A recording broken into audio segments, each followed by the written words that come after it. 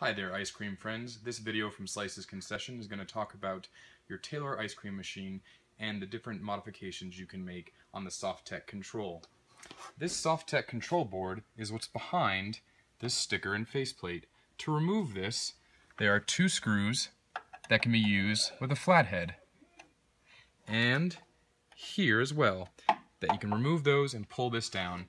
Each side, or each barrel, has a corresponding Softtech control board we're going to talk about the three different settings this board has. The first is your viscosity or temperature. What that means is the thickness of the product in your barrel. So, you can make your product thicker by slowly turning to the right, max. You don't want to turn too far to the right because then your barrel will overfreeze and that can cause damage to your motor. You want to do slight modifications and drawing ice cream after every 10 minutes for the modification to kick in. The next part of this is the mix. That means this is the temperature of coldness in your hopper.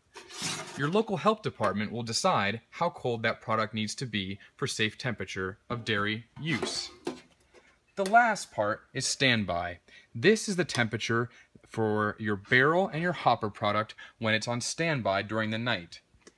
If you have any other questions, please feel free to reach out to Slices Concessions. Thank you and have a good day.